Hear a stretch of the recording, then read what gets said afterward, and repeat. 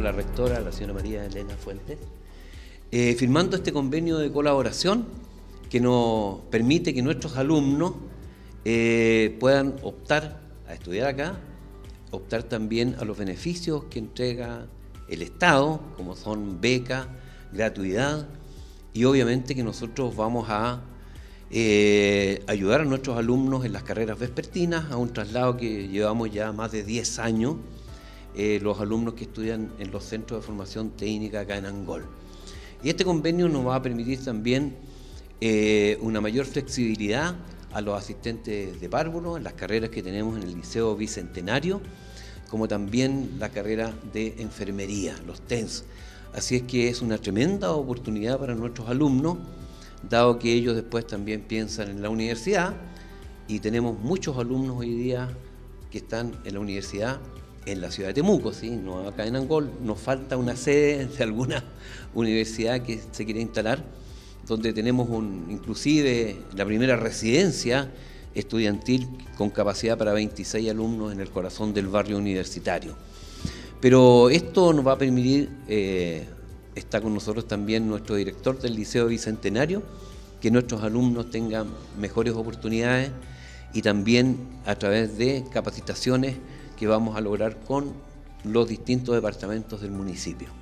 Efectivamente, acabamos de firmar un convenio de colaboración del Centro de Formación Técnica Estatal de la Araucanía con la Municipalidad de Los Sauces. ¿Por qué hacemos esto? Porque tenemos muchos estudiantes que vienen de la Municipalidad de Los Sauces. Eso es lo primero. Y lo segundo es porque la lógica que hay debajo de la instalación del Centro de Formación Técnica de la Araucanía en Mayeco es extendernos a toda la zona de influencia de la, de la, de, la provincia de Mayeco. ¿ya? Y no quedarnos solamente en la capital provincial que es Angol, es aquello.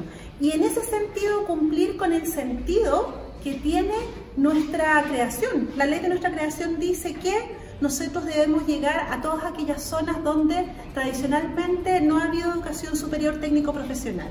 Así que cumplimos con aquello. De eso se trata. ¿Y la firma del convenio es de, colaboración mutua? ¿La municipalidad va a apoyar a algunos estudiantes de allá que puedan venir a Angol? Es un convenio de colaboración mutua. Yo no, no, voy a decir lo que va a hacer la municipalidad porque el alcalde podrá mencionarlo, pero nosotros por nuestro lado lo que vamos a hacer es generar instancias que permitan que haya articulación con el Liceo Técnico Profesional de la municipalidad y además alternativas de apoyo para dictar oficio en la medida que en la comuna de Los Sauces se requiera siempre en el contexto de las políticas públicas, políticas educacionales, que nuestro Señor siga a la cabeza buscando alternativas, liderando espacios, otras formas de oportunidades para que nuestros estudiantes del Liceo Vicente de los Sauces puedan optar, es potente.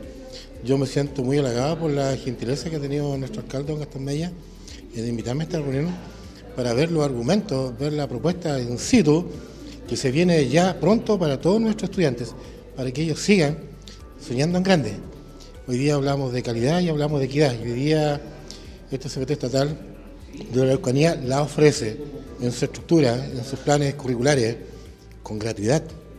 ¿Qué cree que le diga? Yo, más que agradecido, muy contento.